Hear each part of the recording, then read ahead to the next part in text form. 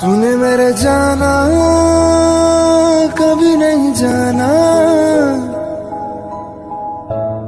इश्क मेरा, दर्द मेरा है। तूने मेरे जाना, कभी नहीं जाना।